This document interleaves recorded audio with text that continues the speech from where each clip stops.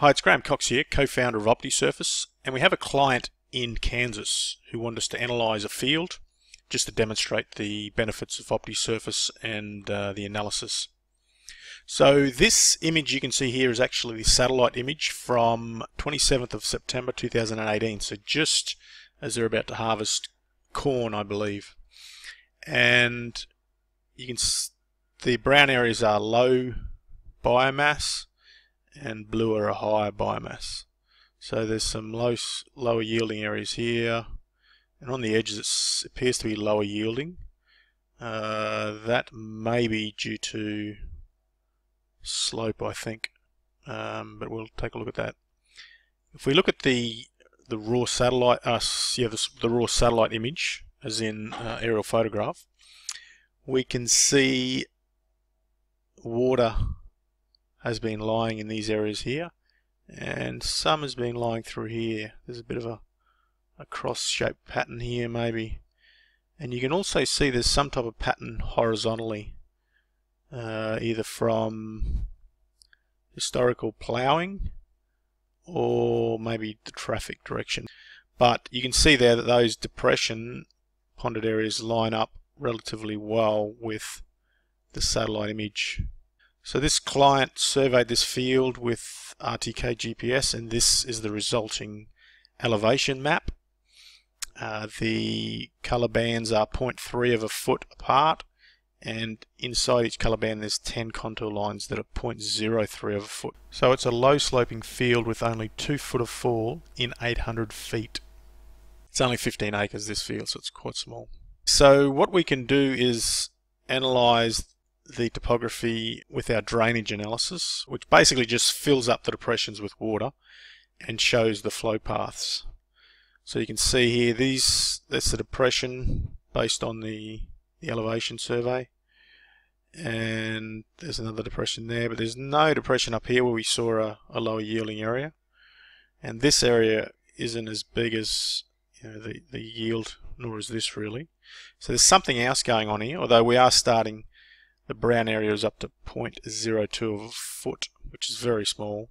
You know, one inch is only 0.08 of a foot. So I'm surprised how small the ponding depth is here, considering the satellite image that shows the yield has been reduced quite a bit, and the also the uh, let's have a look. So this this image that shows the yields have been reduced quite highly in these areas, and this area here so these are, you know, these are showing worse uh, than the survey. So one thing, we may not have enough points in the survey to fully pick up the ridges that may be restricting surface drainage.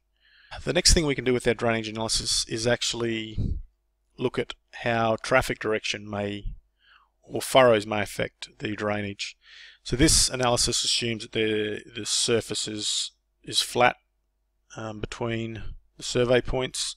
But we have seen with on relatively low sloping fields like this, even tiny ridges from left by the planter or machinery traffic uh, of only say you know an inch high can cause problems. So what we've done with this analysis here is simulated okay we're going if we're farming east west and we have furrows left by the planter uh, of only one inch high, or even wheel traffic um, of one inch high, then this would be the the uh, the ponding map. So you can see that it, it increases because water that would normally flow, say, in this direction here, has to actually build up between the furrows before it can exit, and that's why you get the depth here. So it's building up you know one inch high and then it flows out to overtop the, the uh, these little mini furrows. So that kind of explains a bit more of of the problem we're seeing, I guess, in terms of that yield map. Maybe, maybe not. Maybe the furrows are, are even higher than one inch. We've simulated one inch high furrows. On this field where the, the natural slope is in this direction, and the slope is very low, we would recommend farming north-south to try and minimize this this problem. So we can actually simulate that of farming north-south. So now the water kind of runs in the direction of the, the traffic direction. Um, but we've still got problems here. In fact, this kind of possibly highlights more closely what the yield map's showing. So um, I'm not sure if they farmed north, south, or east, west on this field. Uh, but you can see this water is actually yeah, has to build up here and then jump across to here before it can get out. And that's why there's some water ponding there as well. Same thing. So having said that changing the traffic direction may solve a significant amount of these problems uh, this analysis uh, shows it probably doesn't so the solution would be to do some some earthworks and drain this field uh, better. And we'll look at that now. So this is a proposed design, so it's proposed elevation. And we've done what we call a OptiSurface one-way design. So we've we've forced it to drain in this direction, meaning that's one-way drainage. So uh, you know, you may want the, the water to meander off the field. Um, but in this case, we've got we've got downslope along every north-south run here.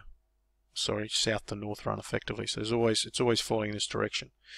That means if you're farming in this direction you, and you do build up some some minor mini mounds, only one inch high, the water will still flow beside them off the field to this drain which is down this end of the field. Uh, that's just there's some arrows on it to show you the, the direction and then there'd be no ponding. So the, the drainage analysis has been done here again on this proposed topography with one inch high furrows and you can see there's no water standing anymore, it's all flowing off. Okay, this would be the cut fill map that would uh, be required to produce that proposed surface. Cut meaning we have to cut soil from these red and uh, yellow areas and drop them in the blue and purple areas. Uh, and it doesn't look like it matches up. That it looks like there's more cut than fill. Uh, when there, there generally is, you have to cut about 20% more soil and you have to fill just because there's a there's a compaction that happens with the filling.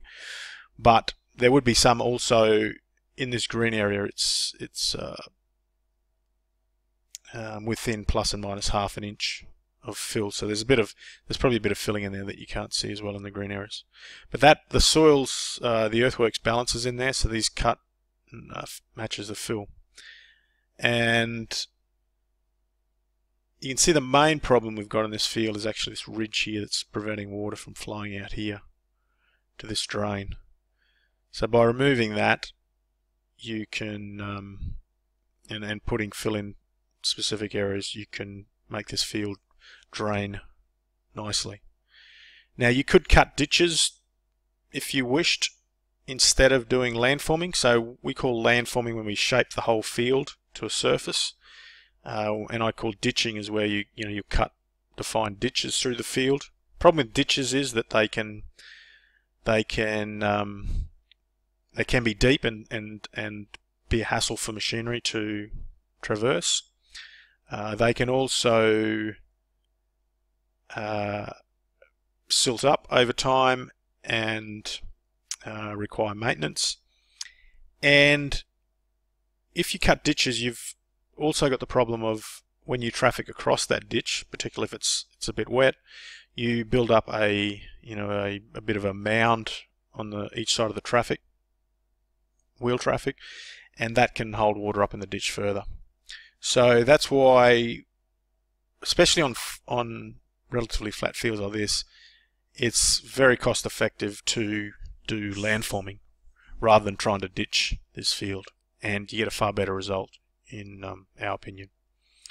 We do have some fields where you have to combine ditching with landforming to get a satisfactory result.